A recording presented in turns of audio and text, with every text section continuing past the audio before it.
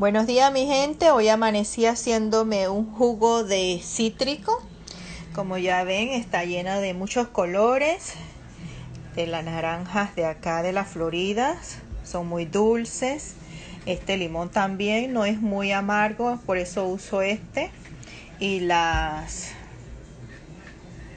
¿Cómo es que se llaman estas?